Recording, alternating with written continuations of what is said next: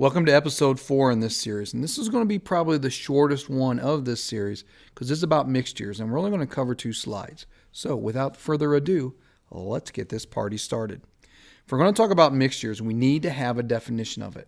And a mixture is basically two or more substances mixed together or put together without chemically combining. Because if they were going to chemically combine, we'd just call them a compound. So when we talk about a mixture, we can actually separate the components if we desire. Now, the most important type of mixture for us is going to be a solution. And this is a solution in which something is dissolved in a liquid, which is typically going to be water. Now, your book uses the definition of a mixture in which um, all parts are evenly distributed. So make sure you remember that book definition. Now, when you talk about a solution, you have two key vocabulary words, and these are down here in red and purple. Okay, as you see down here in red, solvent is the substance that does the does the dissolving. So think of it as like a liquid. So if you were to make Kool-Aid, the water that you would put the Kool-Aid powder and the sugar in, that's going to be the solvent. Now the solute, that's the stuff that gets dissolved. So in our example of Kool-Aid, think of the Kool-Aid powder and the sugar. Those are the solutes. Now, very important for you to remember that water can dissolve both polar and ionic compounds. Cannot dissolve non-polar things such as fats, oils, and waxes. Those will not dissolve in water. But if you're ionic and you're a polar compound, you're definitely going to be able to dissolve in water.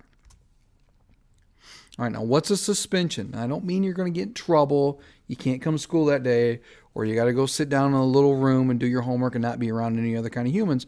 Although some of you probably deserve to be in one of those places. But here's what a suspension is in scientific terms it's a mixture in which the stuff is in water, but they do not dissolve. So I want you to think of anything that you've seen in a bottle or a container that says shake well.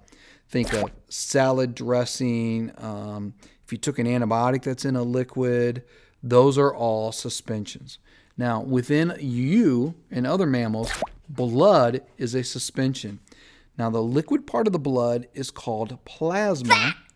And then the things that do not dissolve in a water but are suspended or floating around in it, those would be your, your various blood cells. And I want you to zoom in here onto this picture, okay? So the liquid part inside here is going to be the plasma, but the most of the, the stuff that's floating around, in other words, you'd have to shake well to make it work, that would be red blood cells. Remember, red blood cells are going to carry oxygen, which would be O2. White blood cells, those are used in the immune system.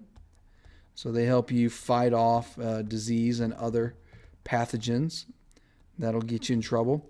And then platelets, these guys are used in blood clotting. So, like when you get a cut and it's going to heal itself, that's what's going to be used in there. All right. So there's some other stuff that's also going to be suspended in there, but th those are the main things. Okay. All right. That's going to end this episode. I told you it was going to be very short, pretty uh, simple.